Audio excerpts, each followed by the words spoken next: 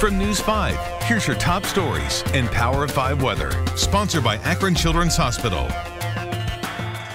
Hi there, everyone. I'm Power 5 meteorologist Brian Shaw. It is going to be another hot and humid day today. Mostly sunny skies. Temperatures climbing into the uh, upper 70s to low 80s by lunchtime. We're topping off into the mid to upper 80s once again, possibly setting a record. 86 is the number to beat, forecasting a high of 87. Another warm and humid day for tomorrow.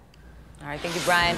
Mona Longwood Terrans breaking down today's top stories. Brecksville leaders are talking about an expensive sewer project mistake tonight.